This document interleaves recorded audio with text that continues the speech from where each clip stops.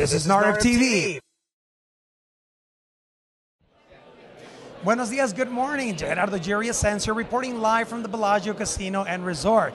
And I'm sitting here next to Gail Buck, a very, very highly successful, big time roller in the REO space, a tremendous producer, and an avid fighter for NAHREP and its mission statement. Buenos dias, Gail. Hola, Jerry, ¿cómo estás? Ah, you'd never think que habla español, ¿verdad? Pero sí habla español. sí, habla español. Gail, you're in Arizona. You traveled all the way out here to Las Vegas, Nevada, and I see that you were standing in line, and thank you for allowing me to pull you from the line. It looks like you're excited about learning what's going to happen in that session. Describe it for our people that are listening.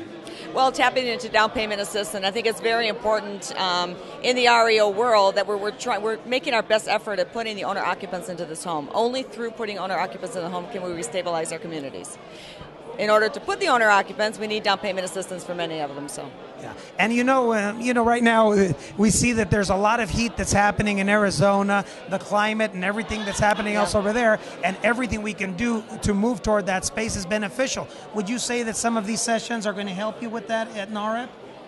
Oh, absolutely. I mean, tap, tapping into, we have a high demographic of Hispanic uh, population in Arizona. So just reconnecting with that, reconnecting with the down payment assistance programs that are available, realizing the support when we have people like B of A, Wells Fargo, Freddie Mac, Fannie Mae, and they're all supporting these communities, they all support this association, it gives you more things to draw from and to see how you can do a better business.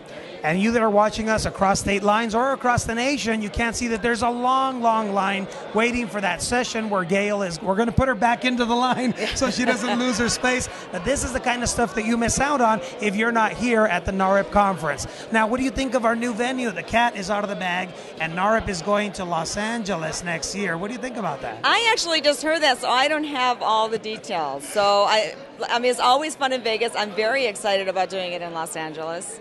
It, there's always new things happening here. It's very exciting. So we're going to count on your presence out there. You're going to count on my presence. We also have a new chapter in Arizona, uh, NAHREP Arizona, and so if they go to NAHREP Arizona, I'm going to put a little plug, uh, az.com, so they can join Arizona because we have a, so many Hispanic real estate professionals and non-Hispanic that will benefit from this program, and then we'll hope to see them all in LA for next year. You heard it directly from Gail Buck. and if you're in Arizona, connect with Gail. She's easy to find, easy to do business with, and there are some tremendous networking and business opportunities. And we'll all see you in LA.